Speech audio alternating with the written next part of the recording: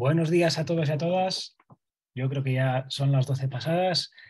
Vamos a comenzar. Os damos la bienvenida a este espacio organizado por la Tertulia Pedagógica y Dialógica de Cantabria, Compartiendo Palabras, y la Asociación por una Educación Basada en Evidencias Científicas de Impacto Social, Hipatia AEB Cantabria, como entidad colaboradora en materia de formación permanente del profesorado de la Consejería de Educación y Formación Profesional del Gobierno de Cantabria. Durante este primer trimestre hemos dedicado nuestra tertulia dialógica a dialogar sobre pedagogía crítica, pero la de verdad, la que transforma realidades y mejora vidas a través del diálogo igualitario con toda la ciudadanía, especialmente con la población más vulnerable y oprimida, con el foco puesto en el impacto social para producir mejoras reales en las condiciones de vida de las personas y conseguir superar desigualdades, la pedagogía crítica que trabaja para la igualdad de resultados de todos los niños y niñas, de, todas las personas, y que se sitúa siempre desde el rigor científico y teórico de sus aportaciones. Por ello estamos infinitamente agradecidos y agradecidas de poder contar hoy con una de las investigadoras que hace posible que esta pedagogía crítica siga viva en tantas escuelas y espacios sociales. La doctora Rosa Valls Carol. Rosa es catedrática y profesora de Teorías e Historia de la Educación en la Facultad de Pedagogía de la Universidad de Barcelona, investigadora en CREA y en proyectos europeos como el Included, Estrategias para la Inclusión y la Cohesión Social en Europa desde la Educación, o el proyecto de investigación Superando Desigualdades en Escuelas y Comunidades de Aprendizaje, entre otros. En nuestra tertulia pedagógica dialógica, en este primer trimestre, con el libro Dialogar y Transformar, Pedagogía Crítica del siglo XXI, del que Rosa Valls es una de las autoras, hemos aprendido mucho, pero también un aspecto del, del, que poco se habla, y es que ser parte de la verdadera pedagogía crítica requiere de coherencia y ética por parte de los autores y autoras, demostrando acciones claras en sus vidas profesionales y personales de posicionamiento contra el sexismo, el racismo y todas las formas de violencia, posicionándose siempre del lado de las víctimas.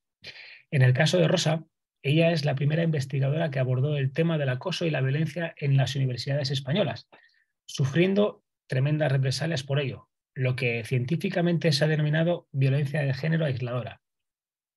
Actualmente, el ranking científico en Google Escolar sobre violencia de género a nivel internacional está encabezado por el doctor Ramón Flecha, y entre las 100 primeras investigadoras contamos con cuatro españolas. Una de ellas es Rosa Valls y tres científicas más de su equipo como Sandra Racionero, Marta Soler y Lidia Puigver. Por todo, es un placer y un orgullo contar con ella. Muchísimas gracias, Rosa. Cuando quieras. Muchísimas gracias por la presentación, Sergio. Eh, muchísimas gracias también a, a todas las personas del seminario, a todas las personas de AVE Cantabria por permitirme hoy dialogar con vosotros y con vosotras, porque el título no es que vayamos hoy a aprender cómo vamos a mejorar el día a día de una escuela, ¿no? que yo soy más de educación de esto, sino que habéis puesto un reto que Sergio lo lo ha definido muy bien y también a todas las personas que, estamos hoy aquí, que nos interesa la pedagogía crítica, que un sábado por la mañana, cerquita de Navidad, las que tenemos que comprar y todo eso, estamos hoy compartiendo este sábado y con muchísimo, y con muchísimo gusto. Eh, sin más, paso a compartir pantalla. Esperemos que todo vaya bien. Sí, compartir.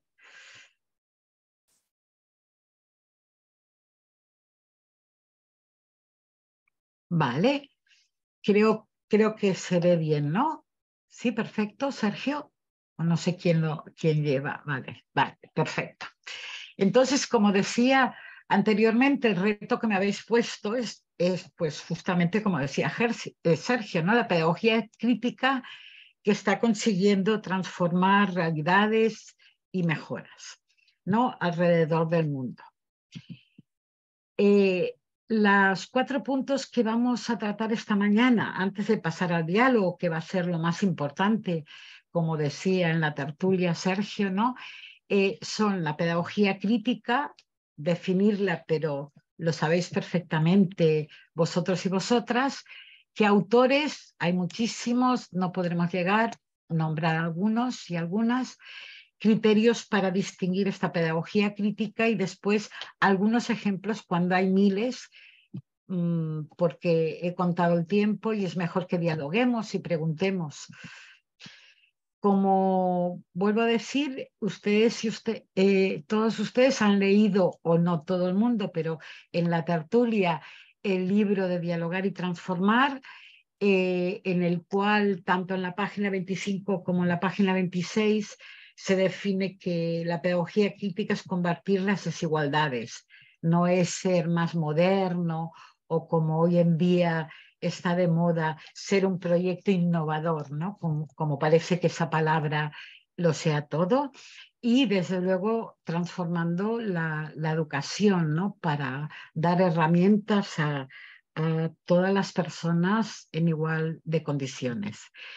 Por comentar, en el 2004, cuando salió este libro, se surge de eh, parte de tesis doctorales que habíamos hecho y también por eh, mm, creer que en aquellos momentos, a principios del año 2000, a principios del siglo, del siglo mm, bueno, ya no, de este siglo, dijéramos, era necesario hablar de cosas que ahora mm, hemos superado con 20 años y desde luego hay cosas, si ustedes han leído, que seguramente eh, rectificaríamos eh, en este libro conjuntamente con Monse Fisas, que era una profesora eh, que ahora lo ha dejado, con tanto con Adriana Uber, que seguramente la conocerán por sus libros también, y con mi compañera Elena Duque, un gusto que empezamos a escribir entonces.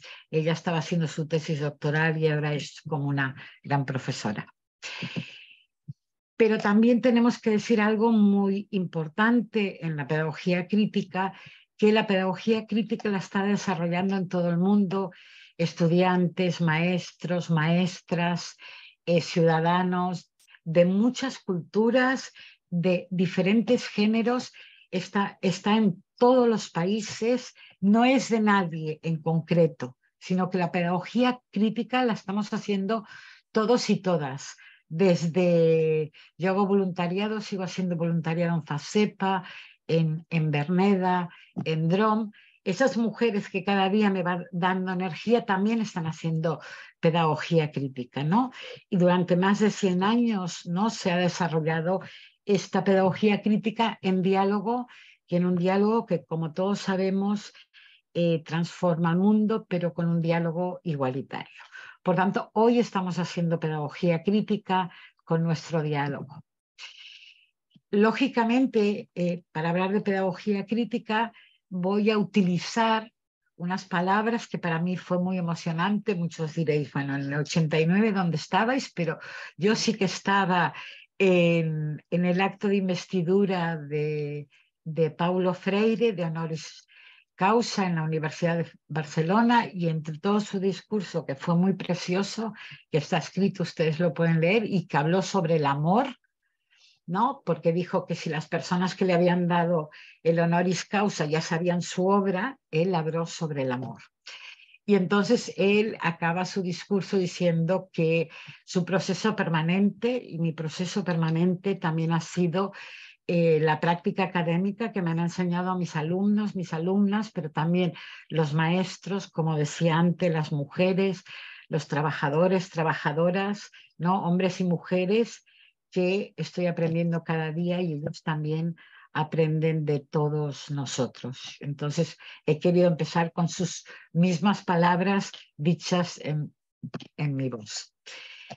Hablemos de autores y lógicamente estaba hablando ya de Pablo Freire, porque no se puede hablar de pedagogía crítica sin hacer mención a Paulo Freire. Y él ya nos dice eh, en uno de sus libros que, que es la pedagogía crítica, transformar la educación, ¿no? Y sobre todo con las desigualdades.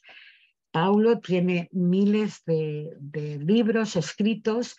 Aquí al principio he puesto este libro. Bueno, aquí se ve al revés, pero está, está igual. Eh, mm, que lo tenéis en la foto. Y entonces cuando hablamos de pedagogía crítica y en el 2018 se celebraron los 50 años del libro de Pedagogía del Oprimido, Pablo Freire, eh, se hizo en Estados Unidos todo una conmemoración como es que es uno de los libros más importantes del mundo. Y si leemos el índice, ¿qué, consideran? Hay muchos autores, pero dentro de, este libro y conmemoración y conjuntamente con Mita Freire, su viuda, escriben en él eh, Chomsky, Fishman, Flecha, eh, Peter Mayor, Peter Marlaren, etcétera, los que se consideran a nivel mundial de la pedagogía crítica. Como decíamos, eh, Paulo eh, es el autor más citado del mundo. Yo he vivido épocas que cuando estaba haciendo magisterio estaba vetado y hablar de Freire era como haberte quedado en el pasado, ¿no? Como con mucha crítica. Creo que esto hoy en día ya lo hemos superado y que no hay, supongo yo, no lo he vuelto a decir, personas que digan esto. Eh, Pablo era muy ético y muy comprometido. O sea, hay gente que actualmente está pervertiendo hasta su fundación, todo esto nos lo explica Anita, eh, que que hay como una relación como muy amigable porque eh, hemos tenido algunas cosas que compartir y también he querido ayer poner las citas que Pablo tiene en Google académico, que son casi medio millón.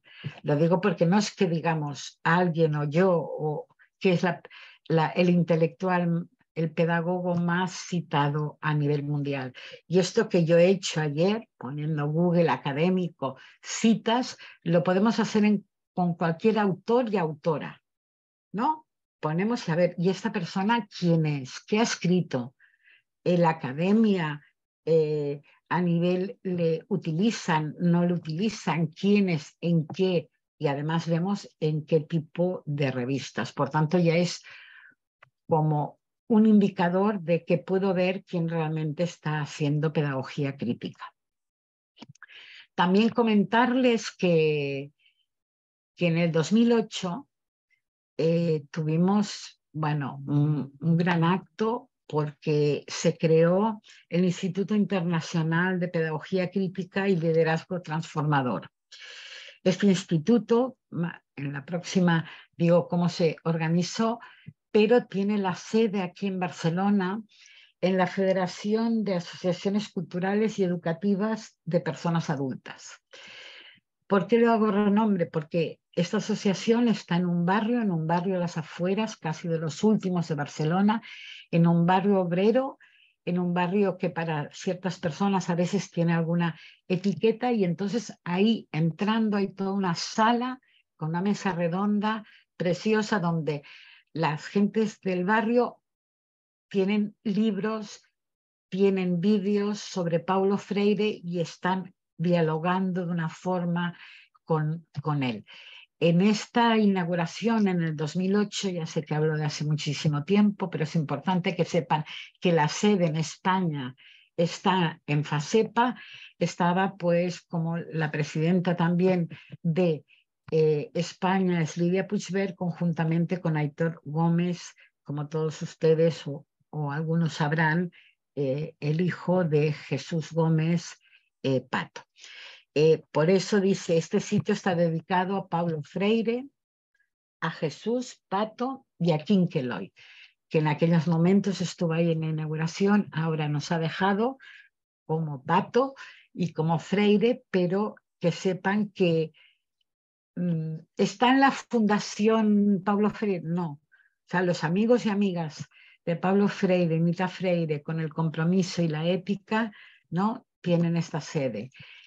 Eh, ¿Quién potenció este Instituto Internacional de Pedagogía Crítica y Liderazgo Transformativo para formar Eh, el objetivo es formar la comunidad global de educadores, ¿no? trabajadores comprometidos en amor radical, en justicia social, ¿no? en muchos contextos. Eh, Shirley, eh, que anteriormente era la compañera de, de Kinkeloy, eh, siempre he trabajado en la pedagogía crítica, sigo organizando. Este año eh, este, se organizan eh, el, Instituto Internacional unos encuentros a nivel mundial de las personas de pedagogía crítica y, en, y, este año siempre asistimos a alguna persona de, de CREA y Garasi López Aguileta asistió, bueno, unas palabras, sería largo de explicar, tengo, bueno, ya llevo un cuarto de hora, tengo que mirar el tiempo porque si no les explicaría. Mm, lógicamente tenemos que decir esta frase de Pablo Freire, ¿no? Las cosas en educación, los procesos, el día a día no es fácil, por tanto, eh, la idea somos personas de la pedagogía crítica, todos ustedes, ¿no? Con siempre con intentar transformar las dificultades que muchas veces tenemos. No son estos modernos de la crítica por la crítica, no es el que más se ve, no es el que más eh, dice, no es el que más sale por la tele, por decirlo de alguna forma, sino somos personas, todos ustedes y muchísima gente más, de buscar y aportar soluciones. Habría mucho, como decía antes, dentro de la pedagogía crítica, pero dentro de la pedagogía crítica hay proyectos referentes, proyectos que tienen impacto en la sociedad y sobre todo en los grupos oprimidos. Uno de ellos es Highlander, que luego hablaremos, otro comunidad de aprendizaje que no lo explico porque seguramente ustedes participan algunos o muchísimos en ellos y lo saben. La Berneda San Martín, que como decía antes, sigo colaborando con este centro y se creó en 1978 Ramón Flecha, yo entré en Berneda en 1979. Y Santiniquetán, también para ver cosas diferentes, que no todo pasa por aquí, sino que es la escuela que creó Tagore eh, en la India Mm, y entonces una escuela que empezó a ser una escuela mixta eh, en aquellos tiempos y que ahora es una universidad referente a nivel del trabajo con todas las personas oprimidas. Hablando un poco Highlander, Highlander se o sea, yo creo que también como Rita Levin voy a vivir muchos años, por tanto voy a ir a Highlander. Eh, compañeras nuestras han estado en Highlander, pero yo físicamente no, y siempre lo han metido. ¿Por qué? Porque es un sitio de educación popular, diríamos, educación crítica, donde han estado los líderes de justicia social, donde se ha compartido ideas, donde en el año 32 se creó por Miles Horton para enfrentarse a las injusticias sociales, sobre todo en Estados Unidos, en la zona de los Apalaches. Es un sitio donde uno se apunta, hay seminarios, como ustedes hacen, no le llaman tertulias, eh, seminarios, talleres, compartir en diálogo la reflexión teórica y práctica. Eh, en, Highlander, eh, las experiencias que han salido en Highlander entre ellos ha estado Martin, es de la época del 32, Martin Luther King. Ahora hay cantidad de grupos y movimientos afroamericanos como otros, ¿no? Y ahí es donde van mm, realmente a, la formación eh, eh, que han hecho y es un sitio de referente a nivel mundial. También decir que de la misma forma que no voy a, bueno, va a salir en algún momento comunidades de aprendizaje, pero Highlander hay uno, ¿no? Es una buena práctica, ¿no? Y ha tenido mucha influencia política, justicia social, a todas las, Pablo Freire también estuvo, o sea, Rosa Parks, o sea, cantidad de líderes han pasado por ahí y han reflexionado conjuntamente. Es un referente mundial, pero es un proyecto educativo. por hablar más personas dentro de la pedagogía crítica, tenemos que hablar y como eh, de la escuela moderna y de Ferrer y Guardia. Tenemos que hablar porque, aunque hablamos del año 1900, ¿no? De, del siglo XIX, ya la escuela moderna estaba basada en una ayuda mutua, en una igualdad para todos los niños, para todos los niños pobres, ¿no? Solidaridad para todas las injusticias y es súper interesante leer y explicar todo el tema de la escuela moderna. También eh, Ferrari Guardia siempre ponía por delante a los niños y a las niñas, como saben ustedes que hacemos en comunidades de aprendizaje, ¿no? su investigación, su participación, su diálogo. También quería mm, mencionar ¿no?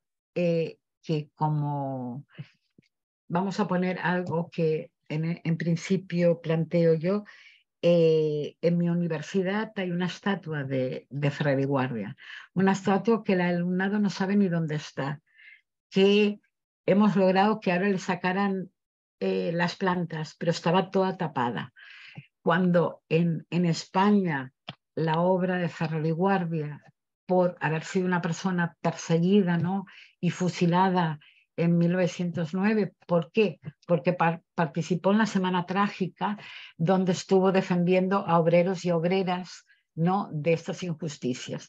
En cambio, en Bruselas eh, hay un monumento ¿no? a Ferrer y Guardia a, la libertad de conciencia. ¿no? Eh, cada año la Universidad Libre de Bruselas eh, cierra en educación ese día para celebrar, ¿no? Bueno, para celebrar, para conmemorar, mejor dicho, ¿no? La, la, toda la obra de Ferrer y Guardia.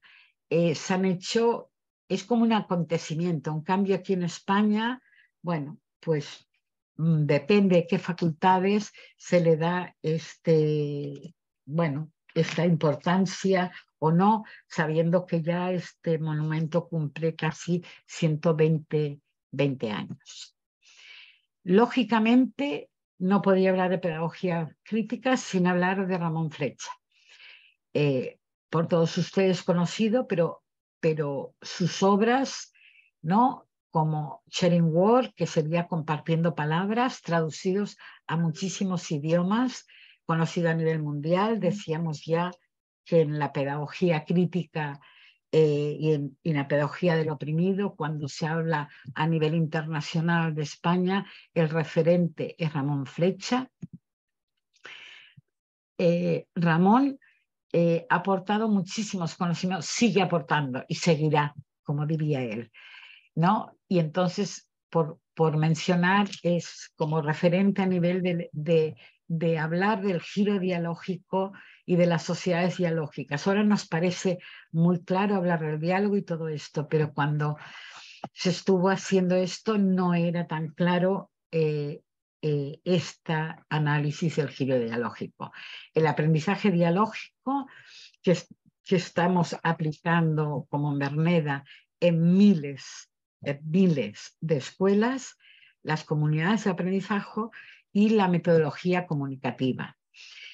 Eh, la concepción dialógica de la educación, quería decir también una cosa muy importante, porque yo soy de la Facultad de, Educación, ahora hemos cambiado, Sergio ya no, no quieren llamarse pedagogía, sino de educación, y entonces en la Facultad de Educación siempre no, no, porque los psicólogos, los, los pedagogos, los sociólogos y ya Ramón y todos el equipo de CREA ya hablamos de una concepción biológica de la educación interdisciplinar. Por tanto, todos ustedes saben que en el, libro Aprendiendo eh, mm, Aprendizaje Biológico en la Sociedad, tanto y con el libro que también han estado ustedes leyendo en la tertulia, hablamos tanto de, psicología como de lingüística con Bakin, hablamos de filosofía con Habermas, o sea, el conocimiento de la pedagogía crítica es interdisciplinar.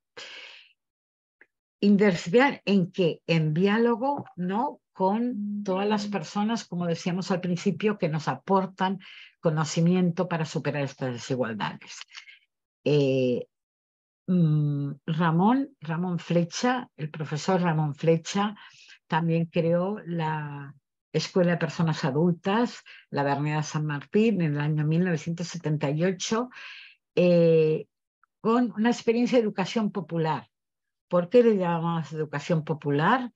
Eh, que para mí la educación popular está dentro de la pedagogía crítica, porque en Latinoamérica, que muchas veces siempre queremos tomar los conceptos más de Europa en Latinoamérica, todo lo de Freire era educación popular. Eh, Ramón la creó en el 78 y yo tuve el gusto de en el 1979 poder eh, participar y ser una maestra más en esta escuela. Una escuela que, que tiene visitas de Japón, de todo el mundo, y que en el 99 ya salió como primera experiencia española. Nunca en la revista de eh, Harvard de Educación se había publicado ninguna experiencia y en este caso la primera comunidad de aprendizaje. Decíamos autores y autoras y en y en esta revista, que luego también comentaremos, de RISE, pues hablamos de Ferrari Guardia, ¿no? Porque quería una misma educación eh, para los niños y niñas. De Paulo, porque eh, era un privilegio y un derecho transformar el mundo de todas las personas. Y de Ramón, como sabemos, ¿no? que el aprendizaje depende de las interacciones y que tiene todos los espacios, por decir una de las cosas de cada uno de ellos cuando sus obras son realmente la pedagogía crítica y realmente los tres han demostrado que no solamente es teoría, sino que con su compromiso, su ética, su práctica son pedagogos de la pedagogía crítica. Pero bueno, lo que nos cuesta más ¿no? es distinguir ¿no? la pedagogía crítica, ¿no? Es difícil y muchas veces yo he sido la primera que eh, con todos los años he dicho, Dios mío, ¿cómo puede ser que, que esta persona pase así? Como les decía antes, hemos hecho un esfuerzo, la pandemia también nos ha ayudado de cosas que queríamos hacer eh, y hemos escrito tanto en, en, eh, este año el artículo sobre pedagogía crítica ¿no? Transformar la realidad.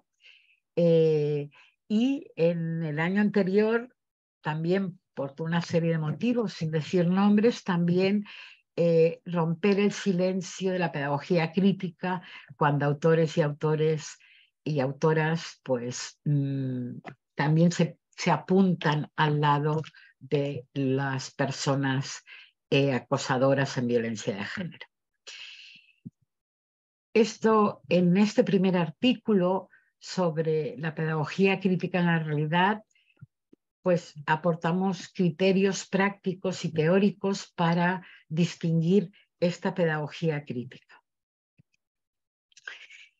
Estos criterios que están escritos en, son cuatro, como puede haber algunos más. El primer criterio de distinguir a las personas de la pedagogía crítica que, están transformando la realidad, a los que utilizan la etiqueta, el primer criterio es el diálogo igualitario, ¿no?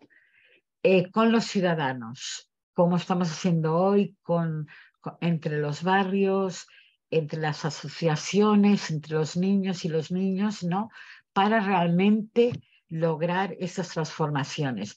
Eh, muchas veces dice diálogo igualitario, no, muchas veces mis alumnos o algunas personas confunden el diálogo igualitario en que es hablar por hablar. No, no, un diálogo igualitario es escuchar, tomar en cuenta los conocimientos de eh, todas las personas que puede ser que en un momento determinado estén en la academia y también los conocimientos de las personas de las academias, de los profesionales. Eso es un diálogo igualitario como también decía en la presentación, lógicamente son eh, otro criterio que tengan impacto social.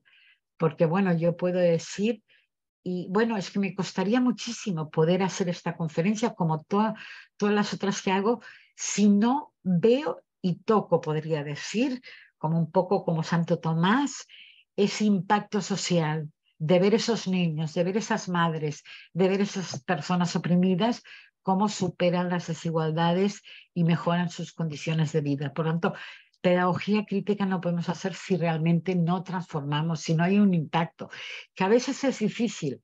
Acordémonos de la frase de convertir las dificultades en posibilidades. Desde luego, tener igualdad, el tercer criterio, igualdad de resultados, ¿no? En sentimientos, en valores, no segregar. Todas las personas somos iguales, da igual. Hay comunidades de aprendizaje, como ustedes saben, en zonas muy ricas, en zonas muy pobres, en pública, en privada, ¿no? Igualdad de resultados para todas las personas oprimidas. Es un derecho, ¿no? Y la cuarto, el cuarto criterio de la pedagogía crítica es un rigor científico, ¿no? De frente a una falta de teoría, de, de alguna pedagogía crítica. Y ese rigor científico, ahora veremos, ay, perdón, ¿no? Y eh, desarrollamos un poco estos cuatro puntos, pero antes me he atrevido, porque estaba con mis traducciones, recomendarles el último libro que acaba de sacar Ramón Flecha sobre el diálogo en la sociedad. Es un libro que habla de sociología, pero como antes decíamos, eh, el conocimiento es interdisciplinar y está dirigido a los ciudadanos y ciudadanas en toda su diversidad, que saben y tienen derecho a analizar las mejoras de la sociedad. Es un libro para, ya sé que está en inglés, ¿eh? yo hago traducciones, pero se puede hacer perfectamente, eh, que está dirigido a políticos, a profesionales, a todo tipo de, investigadores, eh, mm, madres, padres, etc. Y como siempre, a mí me gusta reivindicar, porque puede ser que sea esa época, Ramón como muy revolucionario que es, dice las cosas muy claras. Y como yo, mm, por las grabaciones seguramente no diré nombres concretos, ¿vale? Por juicios o por, como decía Sergio, por cosas que he aprendido, Ramón aquí dice las cosas súper claras y con evidencias, con nombres, como grandes autores han cambiado y ahora les importa más ¿no? sus egos. Y entonces, para eh, explicar estos cuatro criterios, he utilizado las orientaciones que habla Ramón y le dice nueve orientaciones de todo el libro. Y entonces me he permitido el lujo de utilizar también como a Freire sus palabras, entonces, explicar el primer criterio que decíamos que era el diálogo igualitario. En las orientaciones de, este libro que acaba de sacar Ramón, habla de el diálogo, lógicamente, pero habla de la co-creación. Entonces, muchos de ustedes sabrán que hace muchísimo tiempo que estamos hablando del diálogo igualitario, pero ahora la Comisión Europea no aprobará ningún proyecto que no hable de co-creación. Ahora se le llama co-creación ¿Qué significa? Que la creación del conocimiento lo hacemos conjunta las personas investigadas, la sociedad con los investigadores. A mí, por poner algún ejemplo, en la clase mm, universitaria hay algunos alumnos que me dijeron, pero ¿qué me estás diciendo? Que yo estoy estudiando, tengo una carrera universitaria y voy a tener que escuchar a una madre analfabeta de tal barrio, ¿no? Y esto que nos parece muy normal, hay gente que no lo cree para nada y hay otra gente que lo hace ver pero no lo es, ¿no? Y para distinguir esto se tiene que ver muy claro. Yo digo a veces que de una forma poco científica, en las escuelas, cuando estoy al lado de ellos, digo, mira, el diálogo igualitario, una mamá y un papá de una escuela lo nota y lo ve, pero lo o sea, aparte de toda la base científica. Como decimos, participar en el progreso científico y como investigadores e investigadoras aportar a la sociedad los conocimientos cuando estamos haciendo lo que nosotros llamamos, mm, y Ramón conjuntamente con Pato crearon la metodología comunicativa, es esto. No es que un, un investigador, un de la pedagogía crítica, va a decir a las familias lo que tienen que hacer, sino es realmente co-crear este conocimiento. Incluye el diálogo igualitario entre los ciudadanos y la creación de conocimiento, lo tiene en la página 10. Hay muchas formas de explicar el diálogo igualitario, pero me he permitido explicarlo por aquí. Lo dicho de otras formas, puede haber un diálogo entre las personas investigadoras y la sociedad o puede haber un muro y muchas veces en las escuelas, en, entre las familias, entre porque yo soy el otro, muchas veces existe este muro que desde luego no es la pedagogía crítica. Un segundo criterio para poder distinguir esta pedagogía crítica. En las orientaciones del libro que nombramos, Ramón le llama mejora, impacto social. El impacto social no es divulgar y hacerse propaganda y salir, no, no, es mejorar las vidas de las personas, es mejorar, eh, lograr impacto que genera conocimiento, crear práctica, ¿no? contribuir a que los ciudadanos ¿no? Eh, reconozcan eh, y vean estas mejoras. Las, los centros educativos del tipo que sean, sean CRAES. CRAES son centros de acogidas a menores. Marifa sabe alguna cosa de esto. Sea de donde sea, formal, no formal, ¿no? Eh, las personas eh, reconocemos cuando realmente hay impacto social y transformación, que no es un bla, bla, bla.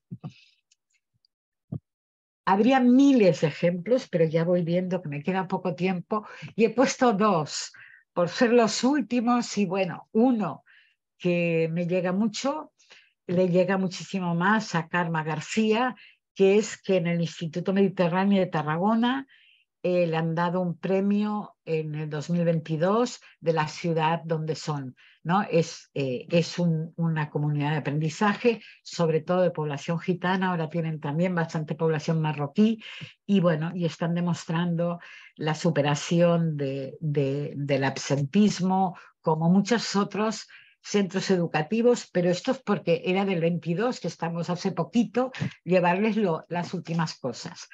También, que me siento muy orgullosa, que luego volverá a salir eh, el periódico de la educación, ¿no? Lo último que tenemos ya ha salido el 10 de, diciembre, o sea, mm, caliente aún está, y desde luego el premio de, de, que le han dado a la Escuela Virgen de Yeste Esperanza y que muchos habéis podido ver, el vídeo tan precioso como la comunidad ¿no? recoge este premio, como eh, Magda en una entrevista en el periódico de la educación nos dice que quiere la mejor educación para avalada científicamente para el alumnado de educación. Por tanto, es un ejemplo, como muchos de ustedes más, eh, que está haciendo pedagogía crítica. O esta otra profesora que nos dice, mi transformación personal y profesional consistió en creer que todo es posible, que cada día nos espera algo nuevo, cambiando la mirada hacia el alumnado, ver posibilidades. Esto es hacer pedagogía crítica. Más práctico que esto, creo. El tercer criterio, ¿no? Decíamos impacto social y hemos puesto estos dos ejemplos.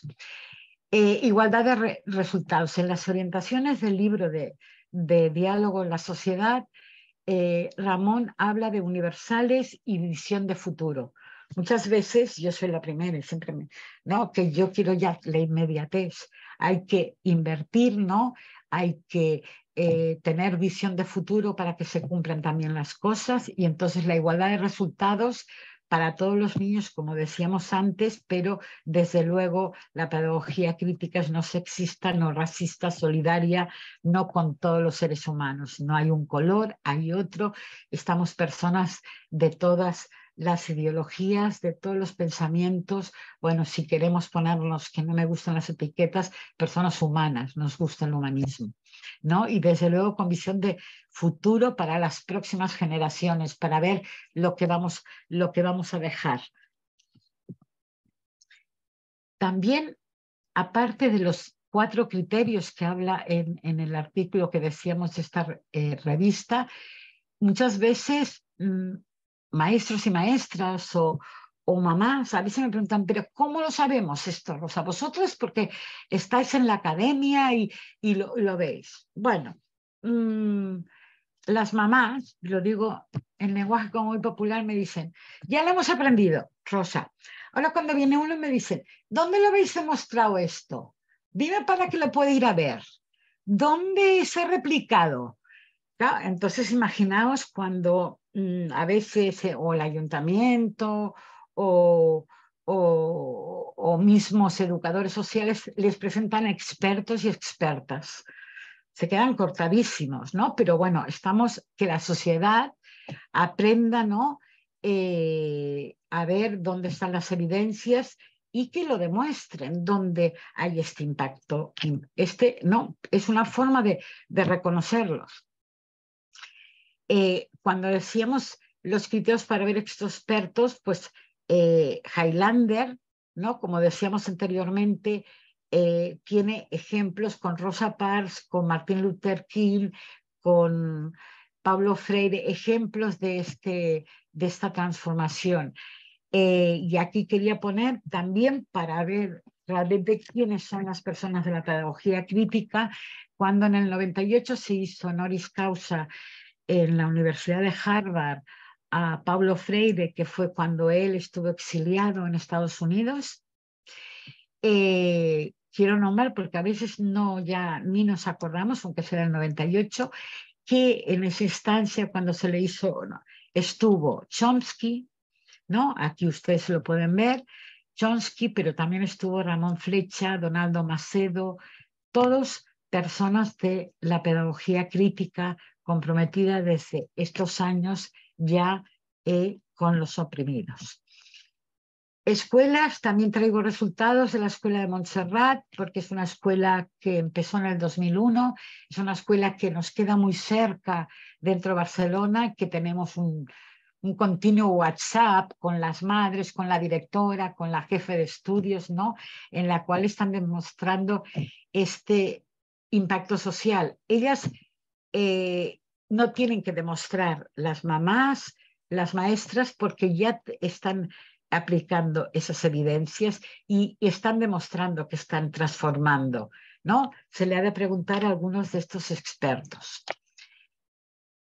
El cuarto dentro de, de los criterios también era la verdad se le ha de pedir, pues, dónde, dónde se ha escrito esto a las personas expertas, dónde lo han leído, dónde lo han debatido y, desde luego, las personas de la pedagogía crítica que, que están encontrando y aplicando las evidencias científicas y no los engaños, continuamente, bueno, yo porque me cuesta más leer el libro este de, Ramón, que sabía cosas, pero ya con la traducción, ya casi ayer a la noche se me hace las tantas leyendo.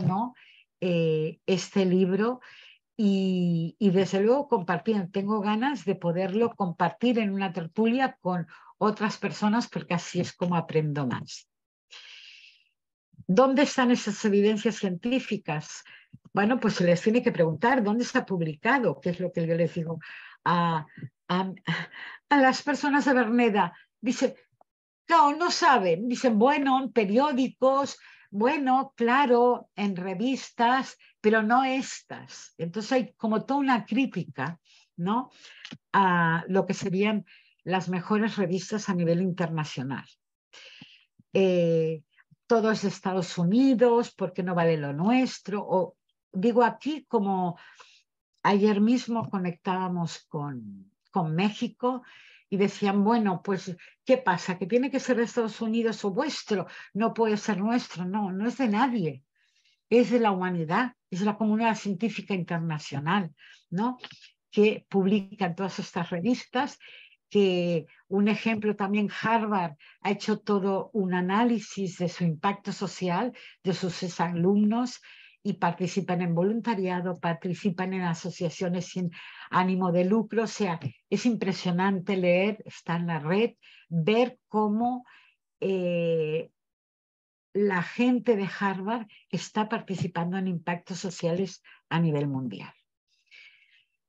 Ahora ya tenemos las plataformas, tampoco explicaré si después en el diálogo las plataformas, y tenemos una plataforma en educación, en Adayana, cuando a mí me preguntan algo, digo, ponlo en Adayana a ver qué artículos científicos hay o no.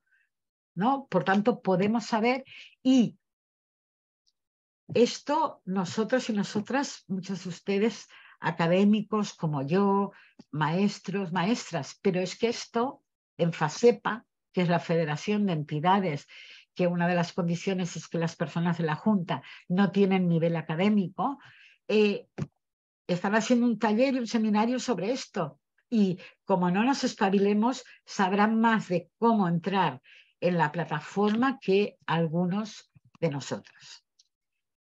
También criterios.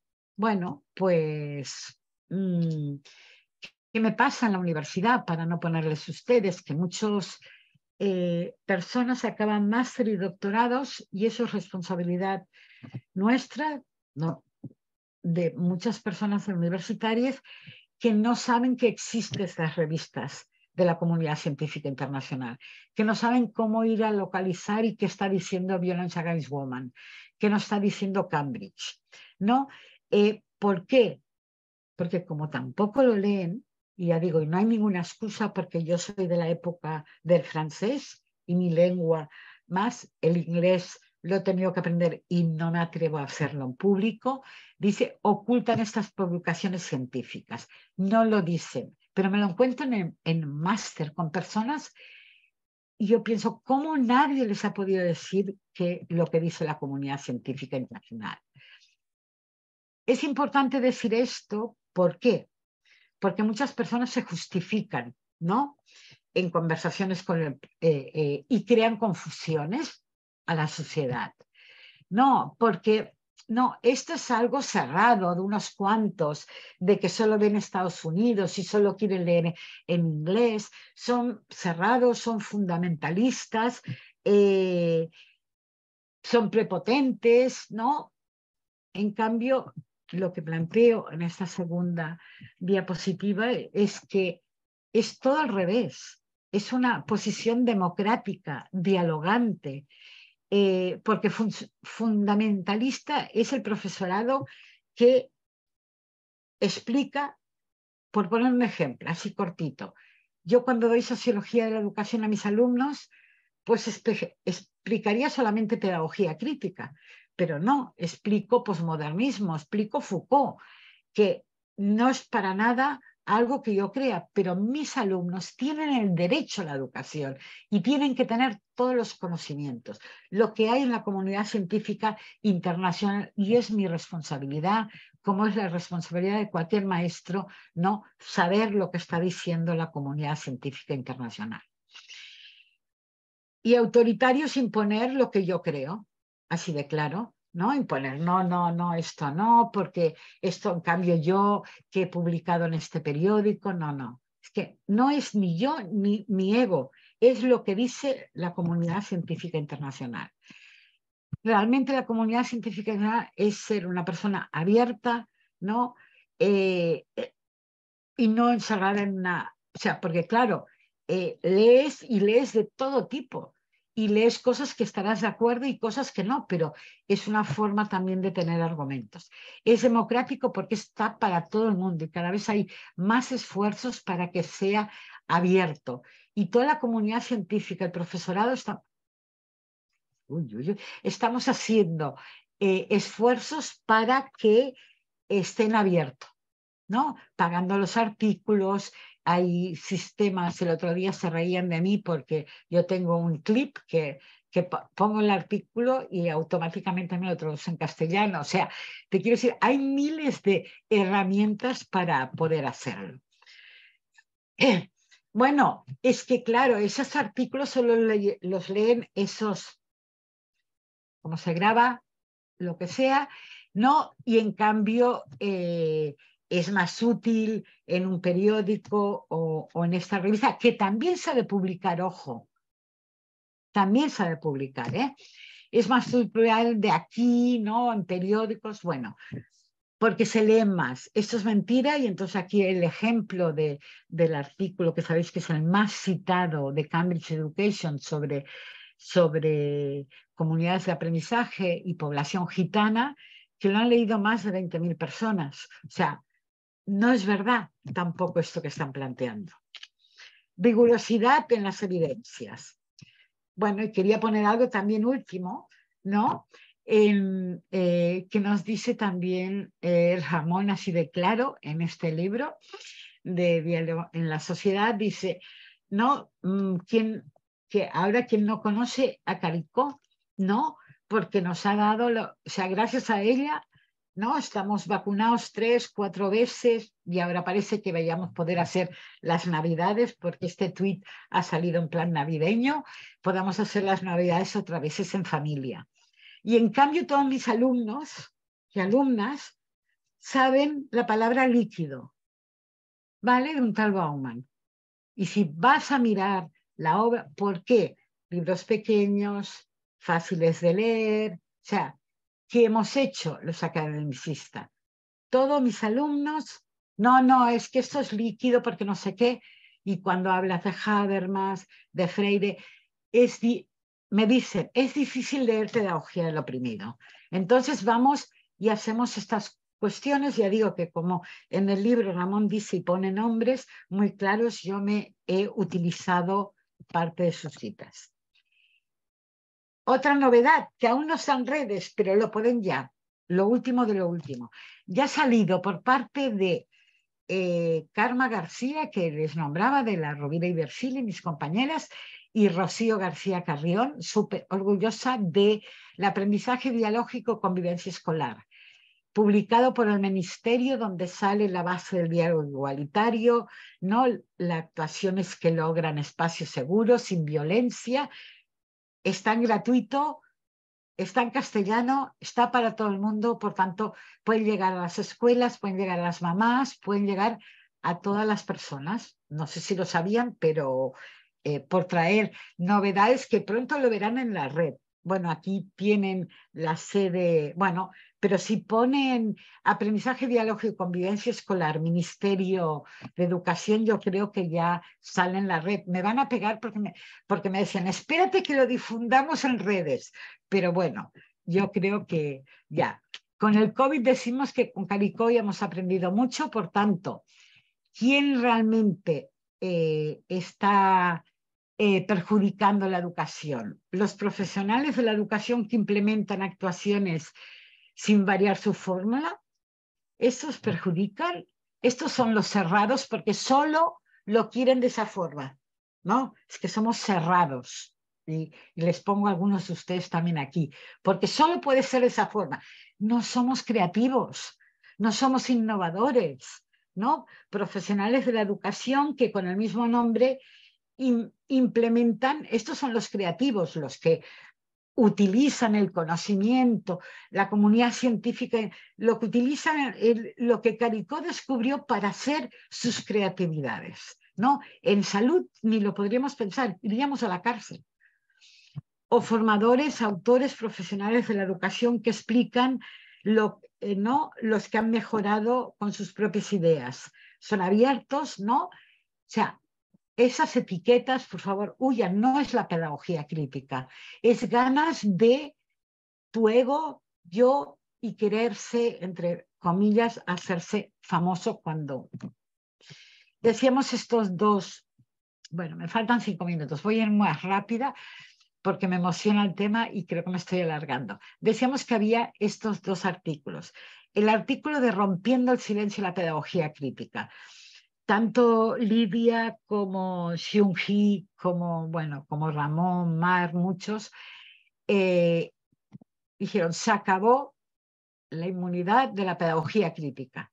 En la pedagogía crítica también hay personas ¿no? que no están actuando ¿no? a favor de las, de las personas víctimas de violencia. Al contrario, están haciendo muchas críticas.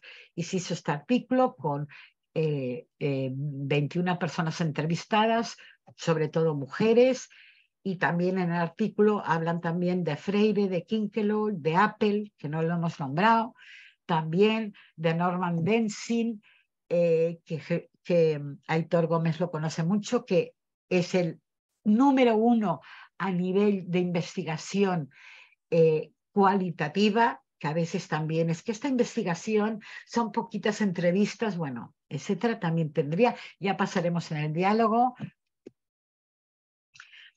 Y entonces aquí en, el artículo hacen la, eh, la, la, crítica también estos pedagogos eh, de la pedagogía crítica que para satisfacer sus egos, sus conferencias, son capaces de ponerse al lado de los acusadores. Como comprenderéis, esto que decía Isabel en la página 209 no es una invención, sino que ha sucedido exactamente lo que las personas de CREA hemos aprendido. Eh, a veces no decir los nombres concretos porque hemos tenido, lógicamente, eh, juicios contra el honor. Pero cuando conoces a estos, no, yo en, la entrevista esta, ¿no? Decía, mm, al principio de todo, decías, estos autores tienen que ser como Pablo Freire, estos autores tienen que ser transformadores, pero realmente no lo son. No lo son y podría, bueno, no tengo, pero tengo una anécdota que cuando fui a Estados Unidos en el Congreso Internacional de la Güera, una cena de la gente de pedagogía crítica. Y dentro de ahí, como comprendéis, hay gente, como nos plantea también el artículo, que está cambiando el mundo, que cambiará el futuro, ¿no? Que hay un impacto social y familia. ¿Y por qué cambiará? Por movimientos bottom-up, por movimientos de abajo y arriba. Cuanto más mamás pregunten dónde está esa evidencia, ¿no? Eh, esos, esos lujos de autores ya no serán. Impacto, aquí podría explicarles, lógicamente, pero también el MeToo Universidad, lo que nos hemos atrevido mujeres a denunciarlo de la universidad, nunca, pero nunca, jamás se había extendido tanto como el MeToo Universidad. No sabéis a la red, las universidades, no sabéis las chicas y chicos que se han empoderado en las universidades para no admitir esto. Y aquí ya, porque me quedan tres minutos, voy a ir rapidísima. Comunidades de aprendizaje, todos, como decíamos todo el mundo, hay, y es del año 2019, 9.000, hay más de 10.000 actuaciones de éxitos de centros, unos que son comunidades, mil decimos, pero ya no sabemos el número, y otros que hacen actuaciones de éxito. Universales y transferibles. Con todo el respeto que me lo quiero y lo explico como pedagoga, Ferrer y Guardia, 36 escuelas en Cataluña. Highlander, una escuela. O sea, eh, Tagore, una escuela en la India. O sea, no hay otro movimiento de personas de pedagogía crítica con esta extensión. Nuestros amigos, lo que hemos potenciado de la formación de familiares que ya tenemos en la Universidad de Barcelona, 54 personas en la Universidad Gitanas. Mis compañeras feministas, que pronto tendremos nuestro congreso, que están superando la violencia de género, también haciendo pedagogía crítica. También por traer cosas últimas, porque decían, bueno, lo sabrán todo ya, ¿no? Pues leer también la, eh, lo que ha hecho el libro de acceso abierto, ¿no? Mm, en la cual esta publicación de la comunicación de inclusividad de la ciencia nos explica cosas que hemos dicho hoy y otras más y también nos da ejemplo. Como decía antes, súper orgullosa de ser presidenta de la Asociación del Periódico de Educación. Eh, bueno, me emociono solo pensarlo. Salió el Día del Derecho Humano de que todas las personas tenemos sobre saber lo que dice la ciencia y no es de nadie eh, no es de una ideología concreta. Y aquí no mm, vamos a escribir, ya están escribiendo, ¿no? todo lo que está diciendo la comunidad científica internacional para que llegue a todo el mundo. No es un periodo que va a ser sea, va a investigar, sino que sí que va a divulgar un poco como el diario feminista, que el sueño este, cuando estuvimos hablando de él, yo no me lo imaginaba que podía llegar, pues creo que tengo el mismo sueño. También mm, en el minuto que me queda, eh, transformación eh, pedagogía crítica, pues estas mujeres de abajo, mujeres gitanas de Bulgaria, que conjuntamente con la Drom Mestipen en Barcelona, que hago voluntariado con ellas, están haciendo encuentros de mujeres gitanas transformando su mm, población en condiciones muy precarias. En cambio, están haciendo pedagogía social. Bueno, acabo aquí, puntual, un minuto me he pasado. Nos supongo que nos volvemos a ver eh, en Semie, en Cantabria, ¿no? En, en, julio y espero que esta vez físicamente y quería acabar con esta frase que me encanta de Freire, como muchas otras frases, que la educación no cambia el mundo. Cambiamos las personas que vamos a cambiar el mundo. Muchas gracias.